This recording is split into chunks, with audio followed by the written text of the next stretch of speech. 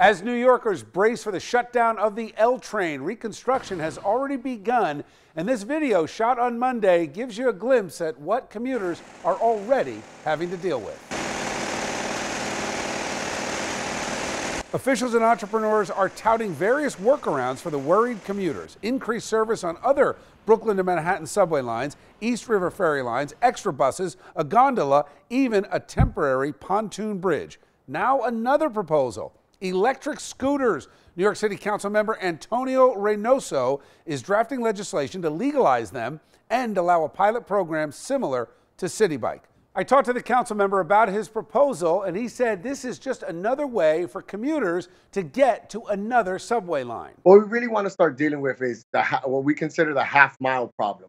Uh, folks that live closer to the L train, for example, that is going to be shut down for the next year and a half, um, want to be able to get to the M line uh, and that's going to be 8, 10, 12 blocks in some cases.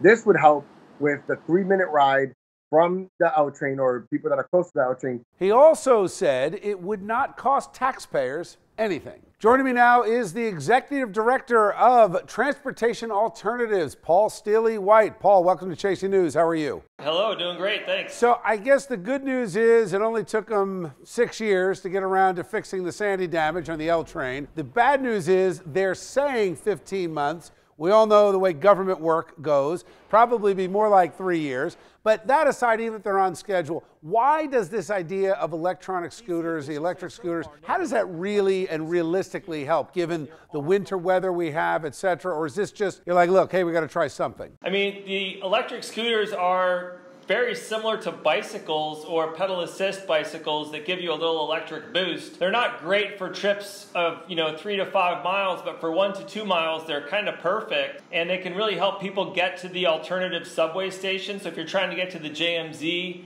um, or some other line, um, a scooter is a great choice to do that. You know, you, you operate them in bike lanes, uh, no riding on the sidewalk. That's very important. We want to make sure we're protecting our pedestrians. But these e-scooters are working like magic in Los Angeles, um, San Diego, even in some colder cities.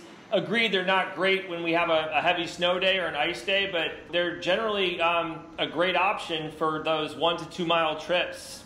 Does it require a special lane? What we're trying to convince the city here in New York is, is to say let these e-scooters use the same protected bike infrastructure that we have now throughout Manhattan and many na neighborhoods around the boroughs. You can make streets safer with good design, and that's how you make it possible for people to take these low emission, affordable, you know, easy forms of small electric transportation. They're just like proliferating around the country. Paul, thank you. Appreciate the input. Thanks for joining me tonight. Well, yeah. All right, let's bring back our A plus panel for tonight's show. We're joined by Republican strategist Allison Young and Democratic strategist Bill Caruso.